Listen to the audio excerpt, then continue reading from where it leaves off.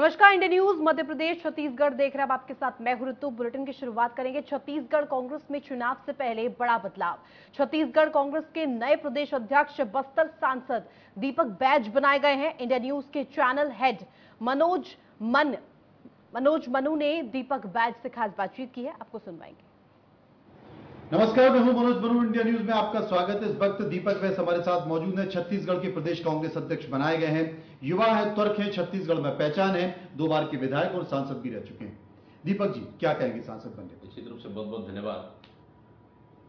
मैं सबसे पहले धन्यवाद देता हूँ हमारे राष्ट्रीय अध्यक्ष माननीय मल्लिकार्जुन खड़गे जी को, हमारे नेता आदरणीय श्रीमती सोनिया गांधी जी को, फिर माननीय राहुल गांधी जी को माननीय प्रियंका गांधी जी को जी। फिर हमारे माननीय के सी वेणुगोपाल जी को फिर हमारे छत्तीसगढ़ इंचार्ज कुमारी शैलजा जी को हम्म। और छत्तीसगढ़ के लोकप्रिय मुख्यमंत्री माननीय भूपेश बघेल जी और हमारे तीनों प्रभारी सचिव। साथ में हमारे छत्तीसगढ़ के deputy C M T S Baba Sahab Damodar Sahu जी माननीय चरणदास महंत जी और तमाम बड़े नेता छत्तीसगढ़ के सभी लोग के सहयोग और आशीर्वाद से मुझे छत्तीसगढ़ प्रदेश कांग्रेस अध्यक्ष के रूप में बड़ी ज़िम्मेदारी दी गई है। तो निश्चित रूप से हमारे लिए बड़ी चुनौती है। चुनौती भी है क्योंकि इसलिए चुनौती है क्योंकि हमारे लिए जस्ट तीन महीने बाद विधानसभा चुनाव होना है समय कम है इसलिए चुनौती है। लेकिन अच्छा इसलिए है क्योंकि हमारे माननीय मुख्यमंत्री भूपेश बघेल जी के नेतृत्व में हम्म।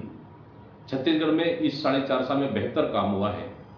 इसलिए इस चुनाव में हम जनता के बीच जाएँगे तो कहीं भी कोई दिक्कत नहीं होगी। अच्छा एक चीज़ मैं जानना चाहता हूँ कि ऐसी क्या ज़रूरत आन पड़ी कि चुनाव के ठीक तीन साढ़े तीन महीने पहले पार्टी ने प्रदेश अध्यक्ष को बदला? उसके पीछे का कारण क्या?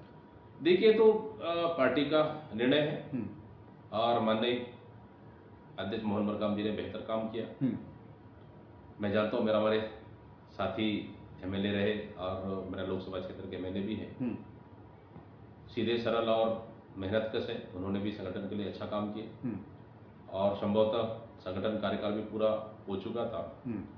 और ये तो पार्टी का निर्णय है। पार्टी का निर्णय सबको स्वीकार करना पड़ता है। लेकिन बीजेपी की तरफ़ से तमाम सारे बयान आ रहे हैं। बीजेपी के प्रदेश अध्यक्ष कहते हैं कि जनाब देखिए एक आदिवासी प्रदेश अध्यक्ष को हटा दिया।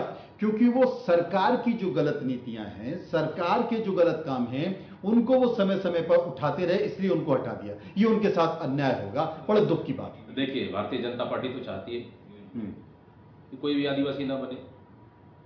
उसका तो उदाहरण देखने को मिला। हम्म, कि भारतीय जनता पार्टी में एक आदिवासी प्रदेश अध्यक्ष होता है। और उसको 9 अगस्त को आदिवासी दिवस के दिन हटाया जाता है भारतीय जनता पार्टी हम्म, ने। इससे बड़ा दुर्भाग्य क्या हो सकता है? हम्म, पहला चीज़। दूसरा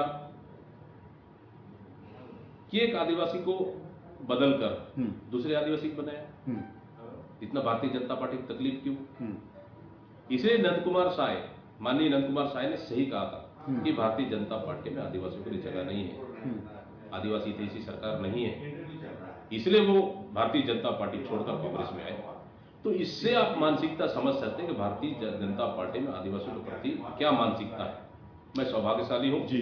छोटा सा गाँव से निकल के कार्यकर्ता के रूप में आकर आज एक बड़ी पार्टी का प्रदेश अध्यक्ष के रूप में चुना है। तो निश्चित रूप से मैं अपने आप सौभाग्यशाली हूँ। मुझे काम करने का अवसर मिला है। ईमानदारी साथ काम करेंगे सबको साथ लेकर काम ये कहा जा रहा है कि टीएस सिंह बाबा नाराज़ इस बात को लेकर थे कि साहब ढाई ढाई साल की बात हुई थी, उन्हें मौका नहीं मिला पार्टी ने संतुष्ट करने के लिए उनको उप मुख्यमंत्री बना दिया। दिल्ली से सीधा संकेत था कि भैया, संभल के चलो, विधानसभा चुनाव है, कोई बड़ी दुर्घटना ना हो जाए। और वो उप मुख्यमंत्री बन गए। लेकिन जब बात दिल्ली की मान ली गई, भूपेश बघेल द्वारा कि टीएस सिंहदेव को उप मुख्यमंत्री बना लिया जाए तो भूपेश बघेल ने कहा कि साहब, बात मेरी भी मान लीजिए। मोहन मरकाम सरकार ठीक से चलने नहीं दे रहे हैं। और अपनी ही सरकार को कटघरे में खड़ा कर रहे हैं इनको हटाइए और आपको बनाइए। ये समझौता? अब ये तो मुझे नहीं पता लेकिन कोई मतभेद नहीं है आज। हम्म, सीएम डिप्टी सीएम दोनों साथ लेकर चल रहे हैं। हम्म, हमारे तमाम बड़े नेता सब साथ मिलकर चल रहे हैं। हम्म, पार्टी सरकार ने इतना साढ़े चार साल बेहतर काम किया तो हमको संगठन चलाने में कहीं भी कोई दिक्कत नहीं है। हाँ निश्चित रूप से हमारे पास तमाम छत्तीसगढ़ में बड़े नेता हैं। सबको साथ लेकर चलना, सबको तालमेल बिठा के चलना इस संगठन का काम है। संगठन का काम है कि हम आने वाले चुनाव में हम बेहतरी के साथ तालमेल, सरकार और संगठन का तालमेल बिठाकर चलें और हम माइक्रो मैनेजमेंट कर आगामी आने वाला समय में ज़्यादा से ज़्यादा विधायक जिता कर लाएँ और सरकार बनाएँ। ये हम लोग का मेन लक्ष्य रहेगा। बस्तर के बारे में कहा जाता है, ये कांग्रेस का गढ़ है।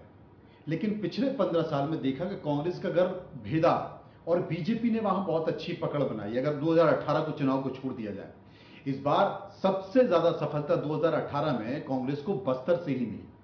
और बस्तर कांग्रेस लूज करना नहीं चाहती। इसलिए बस्तर से बतौर नेता के तौर पर आपको इस पद पर बिठाया गया। मान लिया जाए, क्योंकि यह भी कहा जा रहा है कि बस्तर में फिर से तमाम संघ बहुत बेहतर काम कर रहा है। संघ फिर तमाम उन इलाकों में घुसा हुआ है और बस्तर के किले को भेदने की कोशिश कर रहा है। क्या उसका मुकाबला कर पाएँगे?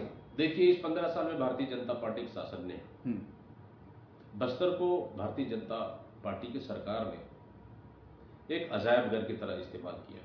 हम्म, ये थोड़ा बस्तर की जनता वहाँ के आदिवासियों को समझने में थोड़ी देरी हुई। हम्म, लेकिन समझ 2013 में आया। इसलिए 12 में से हम आठ सीट जीत कर आए। हम्म, और 2018 में 12 में से 11 सीट जीत के आए। हम्म। और बाई इलेक्शन के साथ आज 12 में 12 सीट हमारे पास है। शुरू से बस्तर कांग्रेस की गढ़ रहा है और आज भी कांग्रेस का गढ़ है। हम्म, आने वाला समय में निश्चित रूप से हम बस्तर में 12 12 सीट जीत कर आएँगे। और बस्तर आज भी कांग्रेस मज़बूत है बस्तर में। हमारी सरकार माननीय मुख्यमंत्री भूपेश बघेल जी ने बस्तर के लिए बेहतर काम किया मैं दावे के साथ कह सकता हूँ क्योंकि मैं उनके साथ कदम से कदम मिलाकर चला हूँ, हर कार्यक्रम में साथ रहा हूँ। हर बड़ी योजनाएँ बस्तर से शुरुआत हुई।